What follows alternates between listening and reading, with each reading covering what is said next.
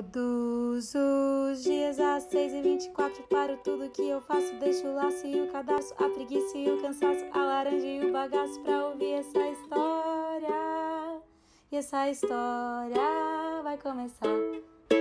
Quarentena de histórias. As Bonecas da Vó Maria. Escrito por Mel Duarte, ilustrado por Giovana Medeiros. Areta, Badu e Faiola são três irmãs que não se desgrudam. Elas gostam muito de aprender, brincar e inventar profissões novas. Hoje eu serei cuidadora de estrelas. E eu, a grande guardiã da lua. Eu vou criar novos planetas. Elas também adoram passar as férias na casa da Vó Maria, que cheira canela e tem uma risada gostosa que faz todo mundo rir junto com ela. um certo dia, Vó Maria veio com um cesto cheio de meias velhas e tecidos coloridos. Chamou todas para a sala e começou a dizer: Agora eu vou contar uma história para vocês de três princesas de um reino encantado que precisa de salvação. E está no nome de cada uma delas a chave para a solução. Elas se chamam coragem, audácia e determinação.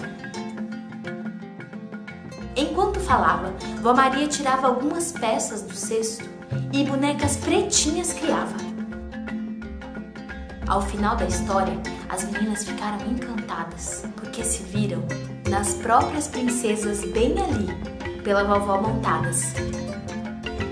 Quando voltaram às aulas, as irmãs levaram suas bonecas para a escola e as outras crianças começaram a se interessar também. Onde achamos mais dessa para brincar? Onde? As bonecas eram únicas e foram tantos os pedidos que sozinha a Vó Maria não dava conta.